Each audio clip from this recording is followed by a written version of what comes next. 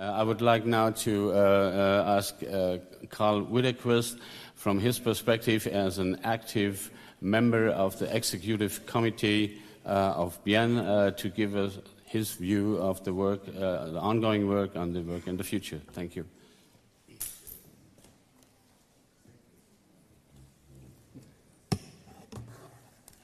Thank you very much. I guess we should have had Philippe go last. He's, uh, I think his will be the most interesting speech. Uh, I'm uh, here just to sum up a few things. I have uh, uh, first uh, one small announcement. there was somebody in the last session, the one where we had two presentations on Brazil. Someone there borrowed one of these translation machines from Eduardo. Um, and then they, they didn't uh, they lost each other and weren't, weren't, able to give it back. And so, no, so now Eduardo can't get his passport back and can't return to his homeland until this is returned to him. So if you're that person, if you could please. Yeah, it was in room. Okay. Otherwise, maybe he'll be applying for citizenship here in Germany. Uh, And speaking of uh, speaking of translation, uh, we we thanked the uh, student translators, but also uh, the regular translators are still back there and still at work, and uh, we should thank them as well. I appreciate them.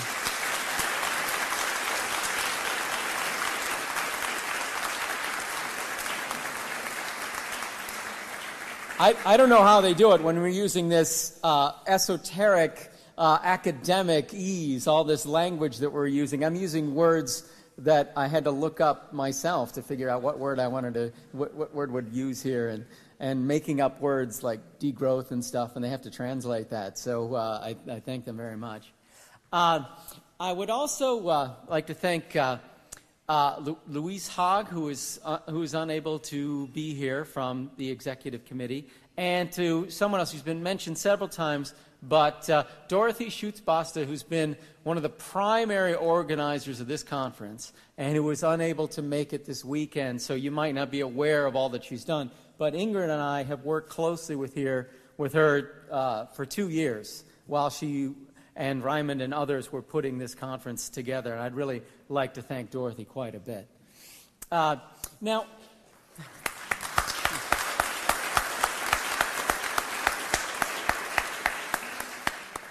I also uh, have in my back pocket a message uh, that comes from Namibia.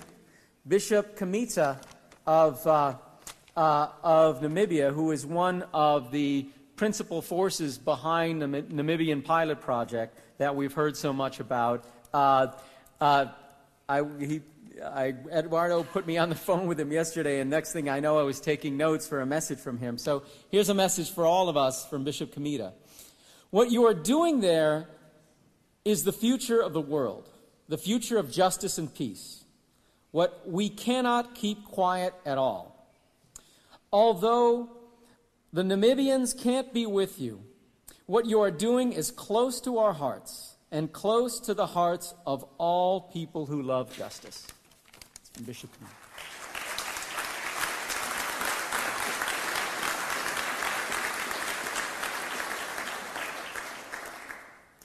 Now, my role here is more of a, an, informational role. Uh, I want to tell you a few things that are going on on basic income, uh, mostly about what Bien is doing, but I will let you know one thing that, uh, that I'm involved in. It's very important to me.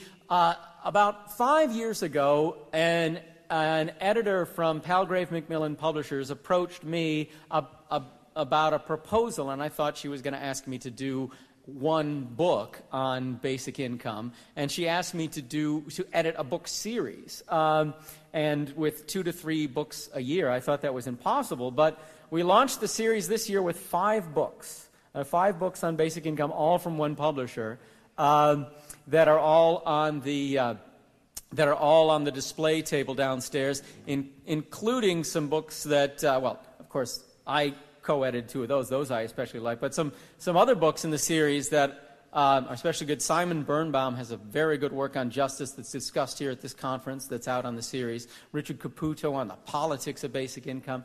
And uh, uh, we're also, one of the things that I'm doing here is uh, looking for authors who are interested in writing books on basic income. And uh, so if you're interested in the series, if you want to know more about it, please, please see me. See me here at the conference or send me an email. Now, uh, I have been the co-chair of Bien for the, uh, for the, last, for the last three terms, along with, uh, along with Ingrid. And uh, I've, I've seen important developments in it in these years. Both of us are running for reelection at the GA meeting this afternoon, if you would like to, to come. I hope you'll vote for us. Um, and uh, I've seen uh, several important developments in it. Basic Income Studies is the first academic journal focusing on basic income research. It's interdisciplinary, but it's all about basic income. It has economics, sociology, philosophy, political science, uh, and many other disciplines in the book, but every paper is directly related to basic income. We've had a recent trans, transition. Uh, Jim Mulvale and Louise Haagh are the, are the editors who took over this year. They will be giving uh, an essay prize for the best English language essay at this, uh, at this conference. We can't give a prize for the best essay in this conference because it's an English language journal and we have no capacity to translate. So all, the best we can do is, is, to, uh, is uh, for the English language papers. If you have a paper in English that you're interested in, uh, that you're interested uh, in publishing in a good academic journal that focuses on basic income, basic income studies, you should, you should look into that this for, submit, for submitting your, your papers. Um, it, is, uh, it is, I think, important for the academic end of the debate on basic income. The basic income issue is so complicated and gets into so many different areas. We need all kinds of people in the movement. We need political leaders, and we need, we need grassroots political activists, and we need and we need academics who are carrying on the discussion in, in those sorts of areas. And, and basic income studies is one thing that's holding that is doing that. This is basic income stu- studies is largely sponsored by Bien. Bien has given it um, some seed money to get started, as has Red Renta Basica, the, uh, the Spanish basic income network. Uh, now, but for the very other end of journals that focus on basic income, the non academic news journals focusing on basic income, the uh, Basic Income European Network started its newsletter back in 1988. Um, and at that time, uh, at that time, newsletters used to be produced on this thing called paper, and they were sent out by mail people would actually they, would actually get a physical copy of this in the mail. It would come in the mail. And it went that way for i think over 10 years until they finally and that it was called at that time the the basic income newsletter because uh, it literally came in a letter. Uh, but then uh, it, it and the original editor was philippe Van Parijs, who's sitting over there um, and he edited it for uh, just a mere 16 years. Uh, and in and he, for, he saw it through the transition to what it became the basic income news flash when it went when it went onto the internet and was sent out by email, as we all as we all know, publications go out today. Uh, and uh, he edited it for this time, and then. Um, in 2004, he passed on the editorship of uh, the news flash to Yannick van who's sitting out there somewhere. Yannick, Yannick over there. And Yannick is partially stepping down this year as news flash editor. He's come to the end of his, the end of his term as Newsflash editor since 2000 for eight years, four terms as Newsflash editor. And he's stepping down, but he's not leaving as a, as a writer. He's leaving as the editor but he's, he's going to be still be a contributing writer. Uh, and, and now I have some experience in this field because uh, when the U.S. Basic Income Guarantee Network got started back in back in the year uh, 2000, I volunteered to write the newsletter for the U.S. Basic Income Guarantee Network, and it was much later in history than 1988, so we went directly to uh, email only, and I have been editing that for the last 12 years. And last year, in 2011, Yannick and I, with help of Jörg Drescher and several others, started a news website on basic income called Basic Income News. And if you want up to date information about what's going on on basic income around the world, go to basic income news, uh, binews.org. binews.org. It's worldwide news on basic income, sponsored by BIEN and its national f- affiliates around the world. Many, uh, there are there are 17. Hopefully, soon there'll be 21 or 22 affiliates. Uh, we'll see at the meeting today when some new applications come in. And we have about five of them participating right now, and we're hoping to widen participation. It started as a joint effort between BIEN and US Big, and it's grown to. Uh, it's grown now to uh, a. Uh, it's grown now to about five or six of the affiliates are officially participating. We hope to get more and more of them participating. And so uh, uh, there are going to be some changes at the News Flash and the News and BI News that we're hoping to integrate these much more. For the last, for the last year and a half, the newsletter and the newsflash have been, have, have been working in parallel. And uh, I should also announce that I have been nominated um, to run to replace to replace Yannick as the editor of the Newsflash. So I'll be the if I succeed in winning the election at the GA this afternoon, I will be the third editor of the BIEN Newsflash. And our goals for the Newsflash in this term is to further integrate it with the BI News website and to integrate it with the various newsletters of any of the affiliates who wish to join. So if you are a, if you uh, work for one of the affiliates, if you're uh, a member of one of the affiliate organizations, uh, we're hoping to integrate the, the BI News website and the BIEN News Flash uh, with, with newsletters of, so there'll be a different edition for each of the, uh, the member countries. I'll be editing both the BIEN Newsflash and the U.S big edition of the BIEN Newsflash, and we'll hope we get others involved. So, um, if you are involved with one of the national affiliates, please see me about integrating our newsletters and integrating the news website. But also, the BIEN News, the BI News website, binews.org, is is completely volunteer run. No one is getting paid anything for what they're doing here. And we have right now about five volunteers who are writing all the news that you see on BI News. And we can use some more volunteers. We can use, we can use volunteers to write for BI News. We also need copy editors, people with HTML skills, um, all, uh, um, all sorts of people to help us out with this. Please uh, send me an email or go to the website and find the contact information. We need people to help. It's, it's a lot of fun. You get to be up to date on what's going on in Mongolia and Namibia and, and in rural Brazil, what's going on in basic income. When I started writing about uh, uh the, the basic income newsletter uh, for US Big in 2000, I thought there can't be news about this policy that, that, that isn't even in place and uh, hardly anywhere in the world. There can't be news on this to fill a newsletter. But sure enough, if you start to follow it, there's news happening all around the world. There's so much news happening, you barely keep up with it. Um, there is a new proposal in this country or something like something, a step towards big, basic income in another country. There's things happening. So there's a, it's, a, it's a lot of fun to follow up on that. And, uh, and it's uh, also a good way to get some writing credits and so forth. So I hope to get everybody further involved. Now, the last thing that I want to say is that after this meeting, uh, there's going to be a lunch break.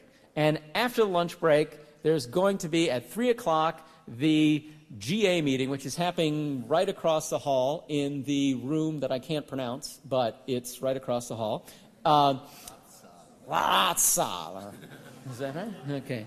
In that room, uh, right across the hall at 3 o'clock, Um, anyone can attend, but you have to be a life member of Bien to vote. So I hope that you'll all attend, and I hope to, and that uh, all of those of you who are life members will will discuss and vote the issues. And I will see you all there, and I'll turn it back to you.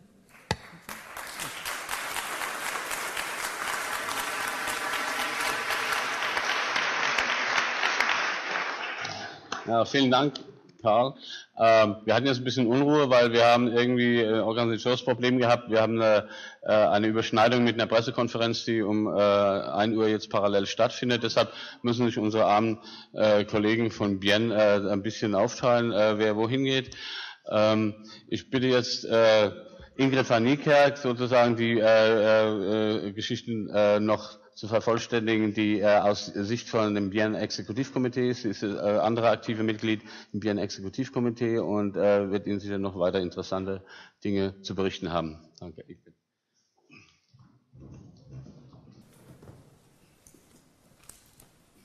So apologies, I'm not Louise Haag. Louise Haag was going to speak to you about the basic income um, editing work that she does, and because she's not available to be here, um, I'm going to speak a little bit on some of the things um, that I've noticed and, and seen.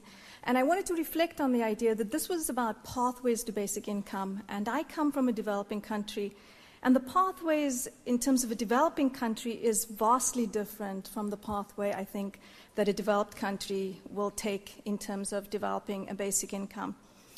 Most of the work that Karl and others do is on basic income, but I'm at a way different level. My work um, um, at an NGO in South Africa is about uh, um, working on cash transfers, designing, implementing, um, helping to do impact evaluations of various types of cash transfers. And so, what role I can play with basic income is that I can help to spread the word about how to universalize these basic incomes. And I think that brings us to the basis of when we need to start with the basic income no conditionality and universal. And so, one of the things we do, we, we try to, to figure out whether it's the right thing and it's the right thing at the right time for that particular country to introduce a universal cash transfer. And incredibly, many of these are being introduced in developing countries in Asia and in Africa and they're mostly done for children. So you will find geographical targeting within a specific area, a universal target. Uh, uh, uh, uh, sorry, it's called geographical targeting, but it means it's universal within that specific region, within that specific geographical space. And so they're beginning to get very comfortable with this idea of universalizing basic um, cash transfers which I hope one day will build up in these developing countries to a space where we can see it move from the region to the uh, province to maybe the country in, as far as these cash transfers are concerned. And in South Africa, we have this. We can see the progressive realization where uh, uh when Mandela came out of prison, he, he asked for a, um, a, child support grant up to the age of seven, and now we have that up to the age of 12, and then it was 14, and now it's up to the age of 18. So all children, it's still means tested, but all poor children at least are receiving a child support grant to, up to the age of 18. But let me take you back to um, some of the work that I do. So, in these training courses that I do, and bear with me, I'll just be five minutes, I have a little story for you. In these training courses that I do, one of the biggest questions that we keep getting asked is how do you finance this? How do you finance this universal cash transfer? And I, I'm so tired of saying, you know, you need to think of the tax policies, you need to think of the growth of your economy. And I say, it's a Thursday afternoon, and I say to people, let's put away the books. Let's just play a little game. And so I divide the group, one half and into another half. And I say, over here, here is your tax papers. Please decide on a tax regime for your country. Five of you in a country, five of you in a country, five of you in a country. One of you will have a high income, two of you will have a middle income, and three of you will have a low income. And I do that the same on the other side of the room. One side of the room has a targeted system, and the other side of the room has a universal system. And I say, calculate the tax rate that you would like to pay in your country. Okay, they calculate a tax rate.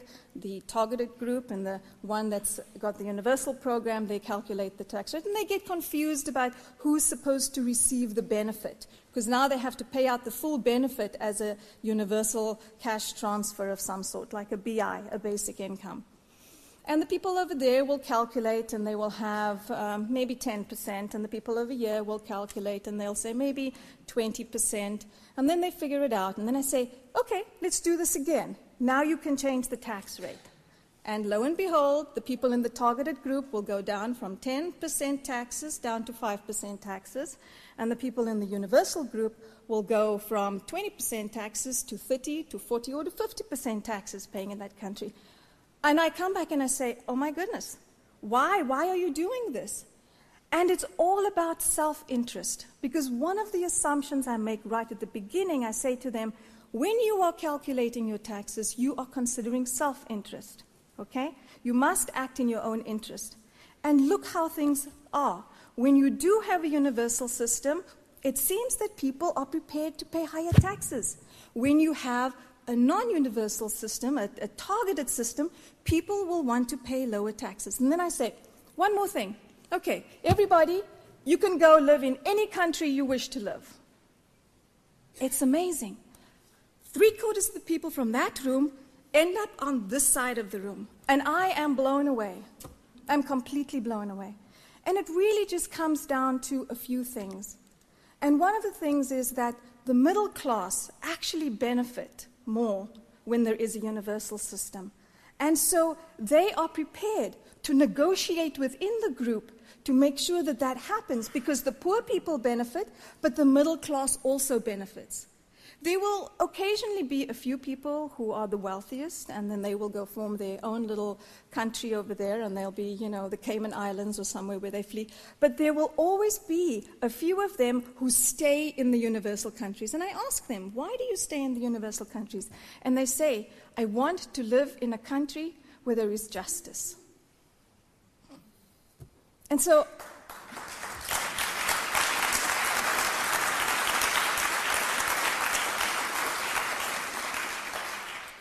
And so I am astounded every time by this game. And I would like to share this game with some of the activists um, so that you can begin to play this game and you can see what kind of effects this game has on people. And I was reminded by that, particularly by something that Götz Werner said the other day. He was saying, and let me just find my notes. He said, You have to think first, and then you have to feel, and then you have to take action. And I think we think too much. We're all in the head, and we don't feel enough, and there are many of us that take action, but not everybody. And I think if, if we take this into consideration, the heart needs to be convinced before we will be able to make any change. These are small things, but they can make such a big difference.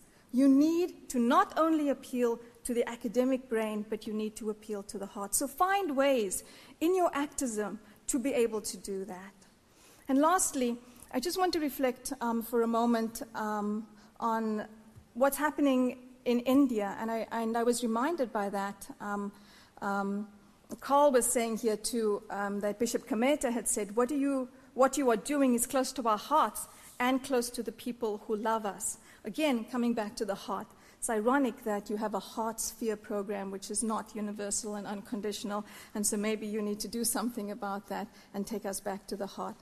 But I want to just end with um, one more thing that I, I, thought about as far as the um, Indian connection that we have now, the pilots that are happening in India. The members of the SEWA who saved with us their successes and their challenges in these pilots, and comes back to words that Gandhi had used, and he said, You must be the change you wish to see in the world. So thank you very much.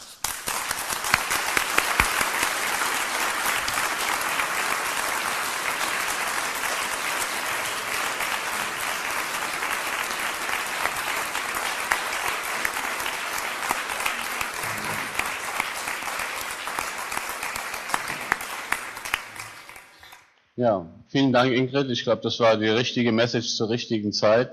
Äh, auch mal ein bisschen mehr Herz einzubringen. Ähm, ich möchte jetzt äh, als letzten Redner äh, meinen Kollegen im Netzwerkrat äh, Matthias Blöcher bitten, äh, die Perspektive äh, jetzt aus unserer deutschen Sicht äh, zu beleuchten und äh, was da uns zum Beispiel so bevorsteht in nächster Zeit.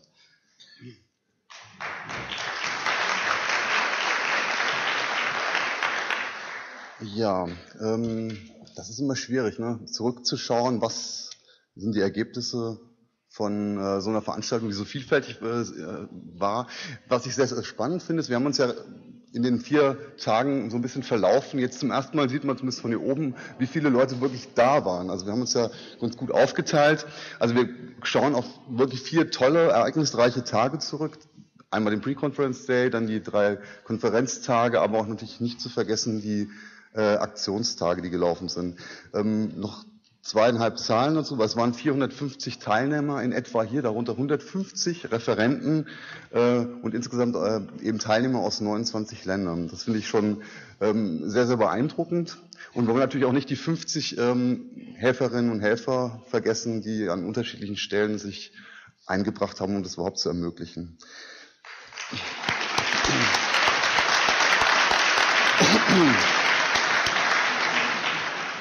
ähm, genauso das inhaltliche Angebot insgesamt, denke ich, war recht breit. Es sind sehr, sehr viele Papiere eingereicht worden. Wir hatten unzählige Workshops und ähm, soweit man das selber eben mitbekommen hat, ist es auch wirklich rege genutzt worden, um in den Austausch zu gehen, das Gespräch zu suchen, auch Diskussionen zumindest ein Stück weit äh, zu führen. Ähm, und es ist ja eben schon gesagt worden, natürlich waren die Pausen sicherlich genauso wichtig wie das, was auch in den einzelnen Räumen gelaufen ist. Ähm, wir sind ein Netzwerk ne, und, ich denke, viele haben das genutzt, um tatsächlich diese Netzwerktätigkeit da aktiv auszuüben. Auch in den Pausen. Also da, ich denke, das war eine super Gelegenheit, wirklich mit, mit vielen Aktivisten noch mal ein bisschen Kraft zu tanken, hier nicht so äh, und, und ein bisschen aufzutanken für, für die Welt draußen, für unsere Aufgabe, die wir dann später haben. Ich möchte versuchen, jetzt kurz und knapp in, in drei Punkten vielleicht ein bisschen zu überlegen, was waren wirklich so die ähm, kleine Punkte, die wir mitnehmen. Ähm, zum einen denke ich, dass wir, dass eine wichtige Geschichte hier war, dass wir den Austausch zwischen Wissenschaft, Aktivisten und auch Praktikern ähm, geschafft haben. Es ist also kein reiner Wissenschaftskongress gewesen, das ist ja oft auch am Anfang so ein bisschen ähm, angesprochen worden, sondern wir haben, denke ich, da eine, eine vielfältigen Austauschmöglichkeit gehabt. Ähm, ein weiterer Punkt, das ist schon bei Philipp etwas angeklungen, dass wir feststellen mussten, dass der Themenkreis vom Grundeinkommen ähm, sich erweitert hat. Also dass wir wirklich Themen haben, die, die zwingend mit dazu gedacht werden müssen. Es ist genannt worden Wachstum, Entwicklung. Ähm, ich denke aber auch, die Frage der Geschlechtergerechtigkeit, also das Gen von Gender Mainstreaming, ist, äh, nimmt, nimmt zu und auch die Menschenrechtsfrage war in verschiedenen Workshops sicherlich sehr, sehr wichtig. Also ich denke, da müssten wir in Zukunft das erstmal als Auftrag nehmen und da auch weiterdenken, ähm, weg von dem Instrument allein. Ähm, der Kongress hatte den Anspruch, Wege zum Grundeinkommen, Pathways to Basic Income. Ähm, was wir feststellen mussten, sicherlich die, sind die Ausgangsbedingungen in den jeweiligen Ländern sehr, sehr unterschiedlich. Und ähm, es ist eine Zeit lang hier, es gab eine Diskussion zu Pilotprojekten, wir haben Brasilien, wir haben Indien uns anschauen können, ein Stück weit. Also man kann vielleicht festhalten, dass man Pilotprojekte, vielleicht auch Ausgangspunkte, Keimzellen braucht. Und diese Keimzellen können doch schon sehr unterschiedlich sein, je nach der Ausgangssituation in dem jeweiligen Land. Die Frage ist dann zum Beispiel für Deutschland, was könnte hier eine solche Keimzelle sein? Das kann natürlich ein lokales Projekt sein. Es ist aber vielleicht auch die Möglichkeit anzufangen mit die Keimzelle bei, bei Kindern zu legen. Sagen, okay, man nimmt das als Ausgangspunkt. Oder ältere Menschen oder vielleicht auch die Sanktionsfreiheit. Das war eben auch schon so ein Thema. Ich denke, das wäre wäre so ein nächster Schritt auf dem Wege zum Grundeinkommen. Das haben wir so ein bisschen festgehalten. Ähm, jetzt, äh, Philipp hat das eben ja schon die äh, drei Kriterien von Bienne nochmal angesprochen. Das war gut. Äh, es ist aber bekannt, dass das deutsche Netzwerk hat ja vier Kriterien. Also wir haben den individuellen Rechtsanspruch, wir haben die, das Wegfallen einer Bedürftigkeitsprüfung und eben auch kein Arbeitszwang und was so hinzukommt, dass wir eben bei uns festschreiben, dass wir eine existenzsichernde Höhe eben um eine gesellschaftliche Teilhabe zu ermöglichen benötigen. Das haben wir bei Bien so in dieser Form nicht. Ähm, und in der ersten Reflexion haben wir gesagt, okay, es wäre, wenn man das so ein bisschen geguckt hat, was in den, in den Workshops und in, gelaufen ist, die Armutsdebatte ist wirklich auch einfach ein sehr, sehr wichtiges Thema. Und ähm, einen wirklich realen Freiheitsgewinn kann man, das wollen wir alle, kann man nur erzielen, wenn ein Grundeinkommen tatsächlich auch armutsfest ist. Von daher würden wir PN anregen, zu prüfen, inwiefern man und in welcher Form man diesen Aspekt noch mit dazu nehmen könnte. Ich denke, das werden wir nachher auch noch tun, aber das, ich glaube, das wäre eine Möglichkeit, da eine gewisse Entwicklung eben auch hinzubekommen. So, jetzt abschließend was, was hat dieser Kongress, was ist die äh, für Deutschland gebracht, was ist die lokale Bedeutung?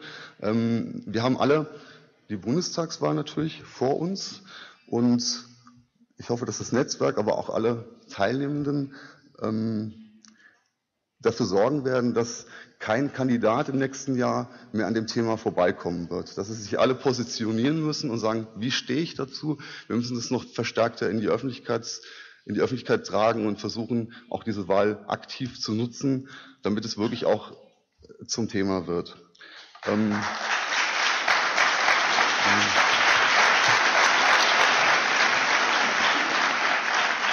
und da, da, reicht nicht ein Netzwerk, sondern sind wir wirklich alle hier aufgefordert und ich, das wäre auch mein Schlusssatz gewesen. Ich möchte mich bedanken.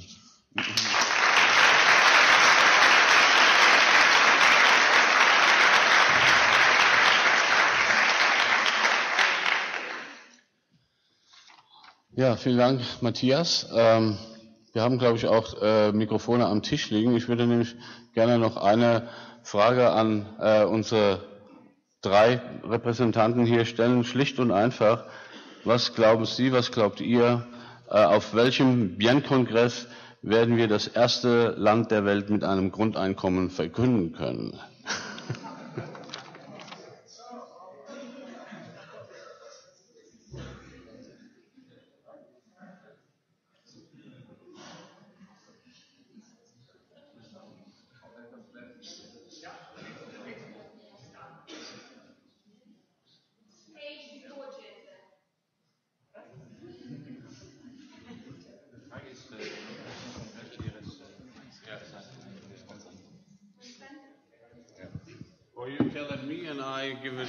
To the people. Do we have problem with the sound? Obviously. Test, test, test. Ah, yeah. I'm only a philosopher, so I, uh, I can say what must be, but not what will be, and even less when it will be.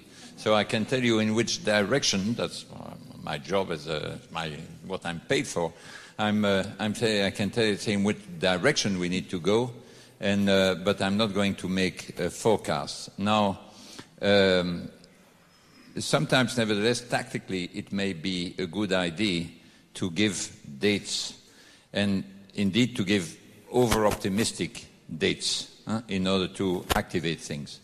But personally, I have a different strategy, which is that I'm methodologically a pessimist. That is, I think uh, I convince myself that uh, a number of things will not happen soon. And if you do that, life is full of good surprises.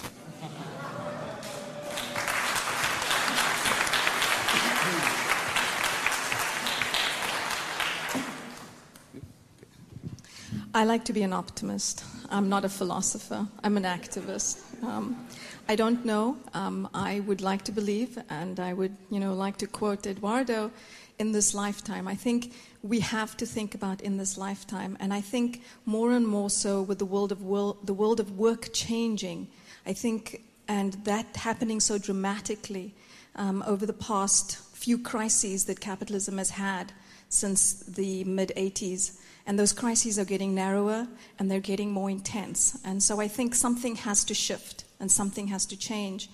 And so within that space, I think there is movement. And it is up to us to create and improve on that space for movement. So take up the challenge and be active.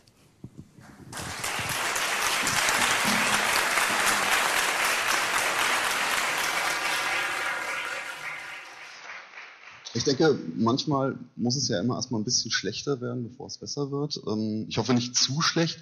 Ich, meine Hoffnung, vielleicht bin ich ja auch Optimist, äh, besteht daran, dass wir jetzt, ähm, dass die Krise die wir so haben, ähm, weniger jetzt auf eine, wegen der ökonomischen Gründe, sondern einfach was so im, im Kopf und in den Bauch, im Bauch der Menschen passiert, dass das eine Chance ist, um tatsächlich einen, einen Umschwung im Denken zu bekommen. Da haben wir das Herz wieder. Ähm, also ich, ich hoffe, dass wir, dass es da zum Besseren kommt und dass wir vielleicht schon sehr bald zumindest erste kleine Ansätze, Anzeichen, Keimzellen sehen können. Okay, danke. Also wir haben keine Jahreszahl gehört, äh, sondern äh, Before wishful thinking. Mr. Götz Werner is going, he needs Yeah. to go. Okay, so please, yeah, I need to say a word about the first sure, of course. Yes, please come up and uh, speak. Sorry, no problem. Because uh,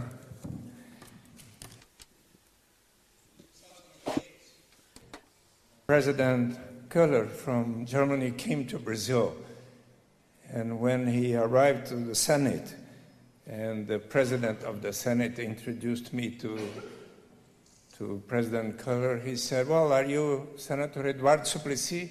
I want to." introduce you to my friend who is a member of the delegation here, Mr. Götz Werner. And so we got together. He invited me to be here in, in Berlin as well in Karlsruhe, Karlsruhe, together with Mohammad Yunus to speak about uh, the microcredit and the basic income to promote entrepreneurship and to eradicate poverty. And so I came. I had a, a very enriched interaction with him, and I wanted to say I was so pleased to, to meet him again here and to know that not only, well, in 2008, I knew that uh, dm had 900 units in Germany and 300 in the neighboring countries. Today I asked him, there are now, if I'm not wrong, 1,300 here and 1,200 uh, in other countries. And at the same time, I see that on that day he gave me the book Ein Income for All that was a bestseller. And now he has an, another book that is also a bestseller and I would like him to have it in Portuguese as well as in English because I cannot today read in, in Deutsch. But so I want to compliment uh, Mr. Götz Werner in the name of all of us uh, and to say how good it is that a very uh, successful entrepreneur has been persuaded and not only persuaded but he started a campaign, as we all of Bien, to introduce the basic income not only in Germany but in our planet. So, I, before he leaves, uh, I wanted to say thank you very much.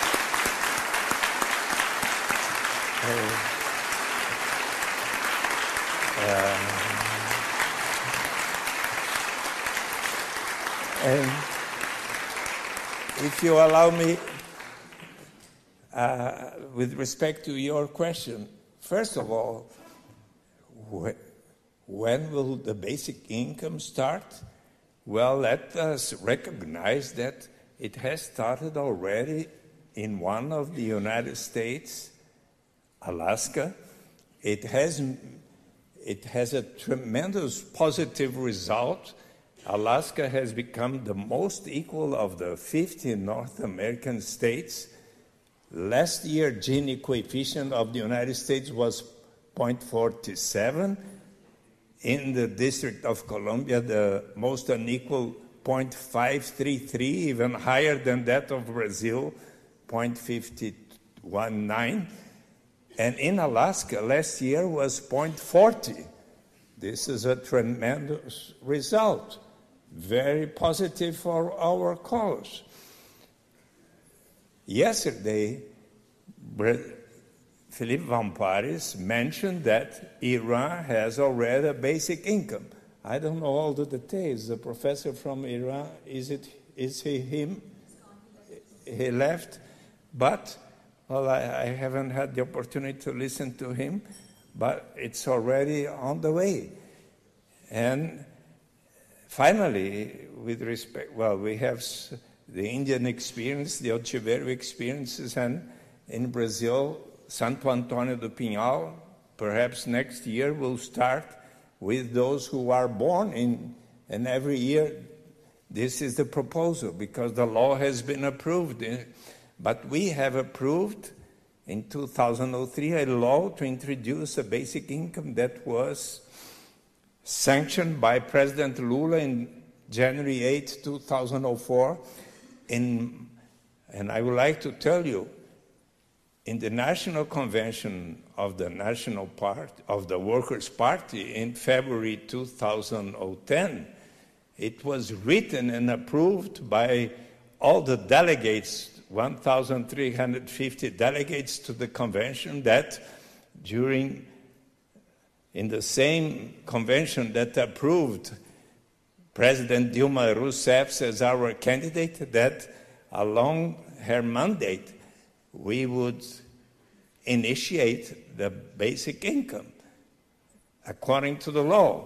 So, my proposal, if you think it's a good one, is to invite President Dilma Rousseff to be present at our next BIEN Congress two years from now. At the end of her first term, probably she will be a candidate again, to tell us how it is the basic income being introduced in Brazil. That's my proposal.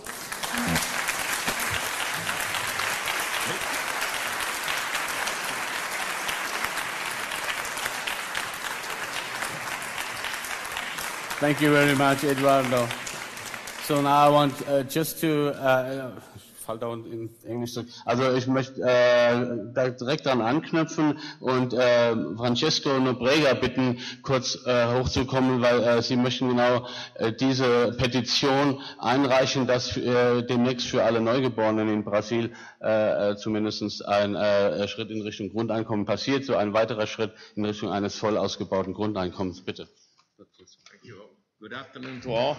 Uh, so I'm Francisco Nóbrega from Brazil, and I just want to call your attention to a petition that is at the table near the entrance.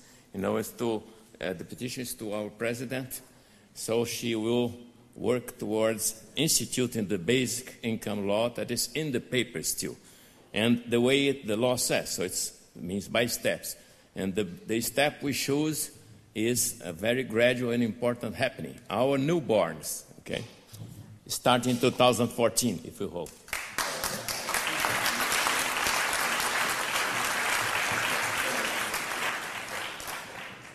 Okay, danke vielmals. Äh, jetzt brauchen wir noch ein paar organisatorische Dinge, die äh, langweilig, aber wichtig sind. Ähm, bitte nochmal die Erinnerung, alle Headsets abzugeben. Äh, wir wären sehr unglücklich, wenn jemand am Flughafen steht und hat statt eines Reisepasses äh, einen, einen Kopfhörer. Ähm, das könnte Probleme geben. Ähm, Papers. Äh, wer immer sozusagen es noch nicht geschafft hat, sein äh, mühsam äh, geschriebenes Paper äh, rechtzeitig einzureichen oder auch immer, die Website wird so wie sie ist bestehen bleiben und äh, wir werden äh, dieses Angebot von äh, Papieren, die eingereicht werden, aufrechterhalten. Wir bitten alle, die noch nicht ihr Papier einreichen konnten, es bis Ende September zu tun, damit wir das dann nochmal allgemein bekannt geben können. Das wird also eine, in Zukunft eine wichtige Quelle sein können für alle Menschen, die nochmal nochmal in Ruhe nachlesen wollen, was sie vielleicht hier nicht äh, mitbekommen konnten, weil man kann bekanntlich nicht in zehn Workshops gleichzeitig sitzen.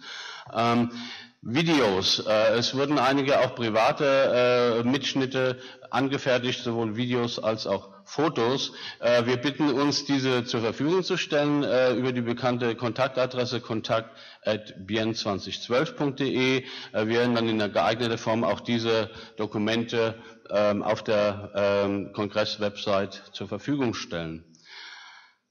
Ähm, War es das so ziemlich? Ähm, ja, Fundsachen. Es sind offensichtlich ein paar Sachen verloren und gefunden worden. Äh, äh, also Leute, die etwas vermissen, möchten sich ins Kongressbüro begeben, um dort ähm, ihre Dinge äh, zu, zurückzubekommen. Äh, ich weiß nicht, ob sich das geklärt hat. Ein Headset ist ja irgendwo anscheinend verliehen worden und äh, ist nicht ganz klar, ob das inzwischen geklappt hat. Ich hoffe, äh, hat funktioniert. Wunderbar, ist alles in Ordnung. So, dann ähm, ja, komme ich jetzt sozusagen zu einem ganz wichtigen, äh, ähm, fast schon Ritual, möchte man sagen. Ich möchte einfach ganz kurz äh, allen Menschen danken, die uns geholfen haben, diesen Kongress ähm, durchzuführen. Ähm, Sie haben das sicher am Rande mitbekommen, was da so alles äh, am Gange war. Da waren also am Check-in äh, zugange zum Beispiel äh, Christa Acker, Alessa Becker, Roswitha Nislein, ich bitte alle, die äh, anwesend sind noch, äh, sind, äh, einige sind schon abgereist wieder, alle, die anwesend sind, kurz vorzukommen, damit wir auch einen optischen Eindruck davon bekommen, dass doch eine ganze Reihe von Menschen sich bereit gefunden haben, uns hier zu unterstützen. Karin Schreiber am Bücherstand, Karina Ossendorf, Miriam Westermeier im Kongressbüro, Fabian, ähm, den Nachnamen habe ich mir auch irgendwo aufgeschrieben, leider schon wieder vergessen. Fabian, wie war der nochmal? Heppe, genau. Fabian, äh, kommt bitte hier hoch, damit wir euch besser sehen können. Ähm, dann Kopfhörer, äh, bei den Kopfhörern eine sehr stressige Aufgabe. Stefan Adler, Philipp Tieber, die können nicht alle kommen, weil die müssen jetzt schon gucken, dass sie die Kopfhörer rechtzeitig äh, abgreifen, bevor die Leute verschwunden sind.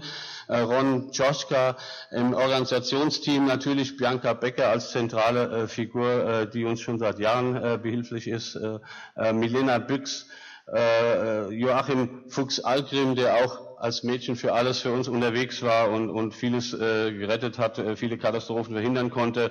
In der Redaktion für die Website, äh, die permanent geschrieben haben, äh, jetzt während der äh, laufenden Berichterstattung versucht haben hinzukriegen über den Kongress, Nathalie äh, Pavlovic, Robert Ulmer, Herbert Wilkens, äh, Übersetzung von Abstracts, die äh, ehrenamtlich erbracht worden ist von äh, Renate äh, Dreher, Norman äh, Kleesattel. Ähm, ferner danken wir nochmal ausdrücklich den jetzt noch anwesenden Übersetzerinnen äh, und Übersetzern ähm, Adrienne äh, Clark-Ott, Irina Sasse, Georg Buchner-Bausewitz, ähm, sowie nochmal für die äh, Koordination und Betreuung Professor Klaus Ziegler mit seinen Assistenten Serena Tiranitza, Thibaut. Äh, ferner danken wir Unterstützern, die uns auch in finanzieller Hinsicht hier weitergeholfen haben, ähm, die GLS, äh, die Stiftung der GLS äh, Bank, äh, also GLS Treuhand Stiftung, die Rosa Luxemburg Stiftung, ähm, die die Agentur Jonas und der Wolf, die uns geholfen haben, Corporate Design für, die, für, den Kongress zu entwerfen und die Website aufzusetzen, ähm, Spenderinnen, sehr viele und alle Mitglieder, die also sowohl Beiträge ans Netzwerk äh, gespendet haben, die wir genommen haben, um diesen Kongress mitzufinanzieren, aber auch Beiträge, die direkt für die, von allen äh, Ihnen, von allen Teilnehmern, äh, die ein wichtiger Bestandteil der Finanzierung dieses Kongresses waren. Viele Menschen haben sich spontan bereit erklärt, fehlende Moderationen zu übernehmen in den, in den Workshops, wofür wir sehr dankbar sind. Ebenfalls natürlich alle Referentinnen und Referenten, die sich große Mühe gegeben haben, die zum Teil hohe Reisekosten auf sich genommen haben, Übernachtungskosten. Sie wissen, das äh, Preisniveau ist, äh, ist unglaublich hoch hier in, in, München. Trotzdem haben wir es geschafft, so viele Menschen äh, hier äh, so, sozusagen zu Wort kommen zu lassen. Ähm, dann äh, last not least äh, das Personal des Wolf Ferrari Hauses, mit dem wir sehr gut zusammengearbeitet haben, sowohl das technische Personal als auch im, im, Büro, die Damen, die, die also sehr sehr kooperativ äh, waren und uns die, äh, unsere Aufgabe sehr erleichtert haben. Ähm, und das Streaming, äh, was äh, äh, permanent ins Internet erfolgt hat. Wir haben ja, wie Sie vielleicht wissen, eine Live-Übertragung ins Internet äh, organisiert. Hier wäre zu nennen Pascal Renault, der hier sehr Hervorragendes geleistet hat. Ich war leider nicht in der Lage, das mir anzugucken, aber ich hoffe, dass die Aufnahmen alle hervorragend geworden sind. Ja, ich denke, damit äh, äh habe ich, glaube ich, hoffe, und alle, die ich jetzt vergessen haben sollte, denen danke ich nochmal ganz ausdrücklich und entschuldige mich, äh, dass sie irgendwie auch, es nicht auf meinen Zettel geschafft haben. Ich bitte jetzt um einen äh, freundlichen Applaus für unsere Helferinnen und Helfer.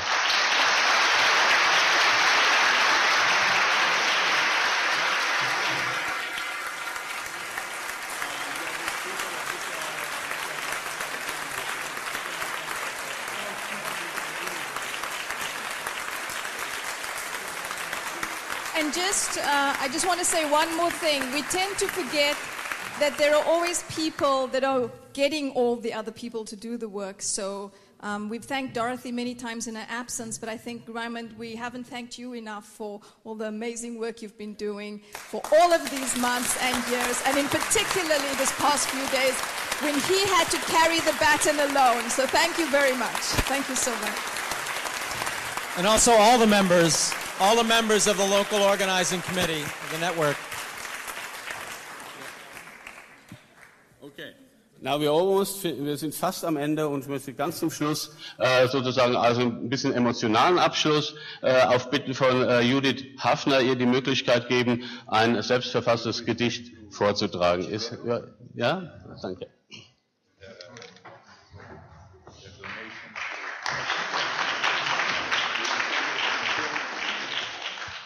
I will start this in English because it is not possible to translate a poem just like that. Uh, I have realized, I've learned one thing as well at this conference. I have understood that basic income is all about freedom. I understood that it is about courage. And I understood that it is actually about human development. And uh, I understood that it needs to be heartfelt in order to be transmitted and in order to actually happen. And there I learned a lot from Werner. Uh, and I just want to finish off with one poem that brings it from the purely human perspective that we are concerned with and that all the people that we are talking to will be concerned with. And there's a hell of a lot of angry and frustrated potential out there that could be turned into a tremendous positive strength if we manage to transmit this heartfelt in the way that Ingrid was describing. And in, als Hommage an Herrn Werner und seine kopernikanische Wende nenne ich das Gedicht Bitte wenden. In der Welt, wie wir sie kennen, definiert unser Gehalt was wir unser Leben nennen. Essen, Schlafen, Aufenthalt. Wie wir Leben neu gestalten, ist in diesem Denkmodell leider Gottes nicht enthalten. Wer nicht sputet, der wird schnell aus dem Raster fallen. Und das Raster droht uns allen. Deshalb sputen wir und rennen, anstatt zu verweilen um einander zu erkennen und am Leben mitzufeilen. Denn ein Mensch muss sich beeilen. Ja, mit einem Grundeinkommen würde dieses Hamsterrad aus den Käfigen genommen und wir stünden auf dem Pfad wirklicher Entscheidung. Will ich Sinn oder Vermeidung? Bin ich mutig oder klein? Bin ich frei oder allein. Was ich bin und was ich lebe, stünde plötzlich in der Schwebe. Wenn wir unseren Zwang entfernen, das sei uns bewusst, müssen wir als Menschen lernen, die befreite Lebenslust neu zu integrieren, uns als Menschen neu zu spüren. Spüren sind wir nicht gewohnt, uns verbindet, was sich lohnt oder was wir denken. Uns zu spüren, uns zu schenken wäre das Mandat. Das ist bestenfalls privat. Dieses Leben will mit Wucht zwischen uns pulsieren. Und wie leicht wird es zur Sucht, die wir konsumieren. Leben nach dem Hamsterrad ist für Hamster schwer. Wasser kocht bei 100 Grad, aber hier kocht mehr. Um da wirklich einzutauchen, und das ist ein Segen, werden wir einander brauchen, wie der Wald den Regen. Dieses Neue wird nicht starten und das Alte schwinden, wenn wir aufeinander warten. Nur wenn wir uns überwinden, und uns konsequent in die Herzenskraft begeben, wird uns das, was heute trennt, morgen neu beleben. Diese Kraft aus unseren Herzen halten wir noch auf Distanz. Doch mit ihr ist nicht zu scherzen, denn sie will uns, und zwar ganz. Leben ist die Leidenschaft, Neues mit vereinter Kraft fließend zu gestalten.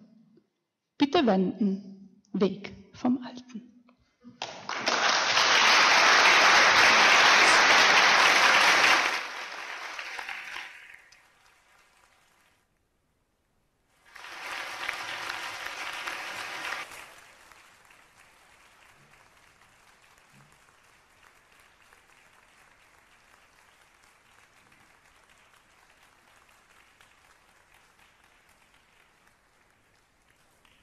Thank you. Uh, I'd like to uh, thank uh, not only Reimund, but all the members, uh, but all the members of the local organizing committee. I don't know everybody's names, but there was a committee that uh, a committee of about a half a dozen people who worked very hard over the last year to uh, to put this thing together. And I'd like to thank every every one of them. Thank you very much.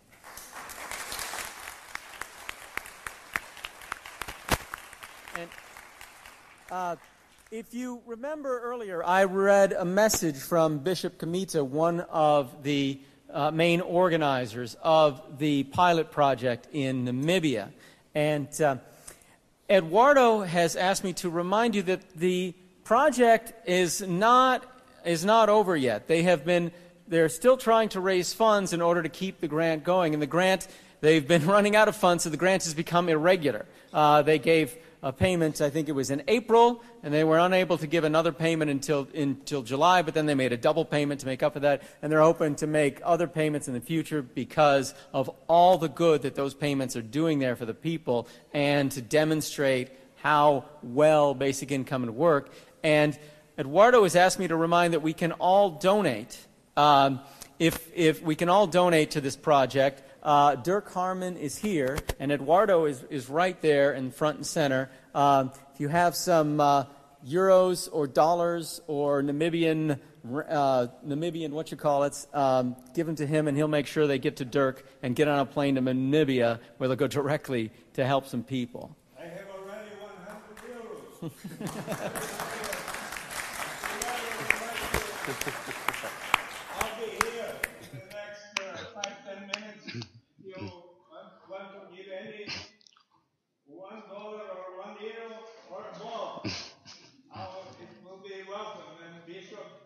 Zephania Kameeta, Deacon Claudia Haarmann, will, and all the people in Otjivero will thank you very much. They, they received in the first two years 100 Namibian dollars per capita, the 1,000 inhabitants of Otjivero. This means about uh, 12, 13 dollars. And so uh, any contribution might contribute for the continuation of the basic income pioneer project in Otjivero. Thank you very much. Okay, vielen Dank. Also jeder, der Geld hat, wo nicht weiß, wohin damit, bitte sofort an Eduardo wenden und äh, wir haben eine gute Verwendung für, äh, die, für all dieses Geld. Ich, mir bleibt Ihnen noch einmal allen herzlich zu danken, dass Sie gekommen sind, dass Sie uns mitgeholfen haben, aus diesem Kongress einen Erfolg zu machen und hoffentlich ein weiterer Meilenstein auf dem Weg zum Grundeinkommen. Ich wünsche Ihnen einen schönen Nachhauseweg und äh, kommen Sie gut heim. Bis zum nächsten Mal. Auf Wiedersehen.